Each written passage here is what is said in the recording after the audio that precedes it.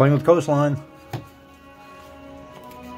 Adding shadows, um, building up the, or building, burying the alcoves, building them up, what do you want to call it? Building up the shadows inside the alcoves. So, building up the negative. The best way to put it, I guess. This area, I'm not sure yet. Uh, it's probably a cave. I'll put some rocks and stuff around it on the outside just to kind of figure out what I'm going to do with it, really. I don't really know yet. Alright, that's not... I ran out of paint. Payne's Gray I'm using, again, is like a toothpaste thickness, and it runs out kind of fast when you start smishing it. smishing it, yes, that's a word. Okay, come down a little bit. It's a little dirty.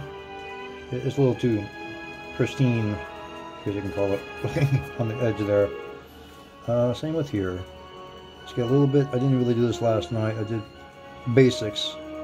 I just want to get a little bit deeper of a color of a stain right now. When it, so it looks a little bit older, a little bit more weathered, a little more beaten up. Again, dry brushing, you know, numerous times.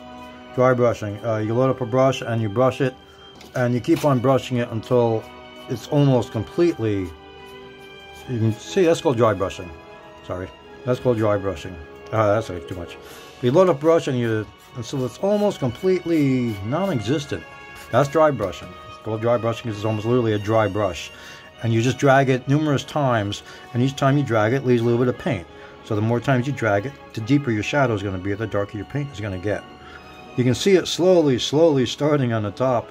I don't know if you can. I can, but it's tough to pick it up on the phone. But see, there's a little bit of a dark piece there now that wasn't there before.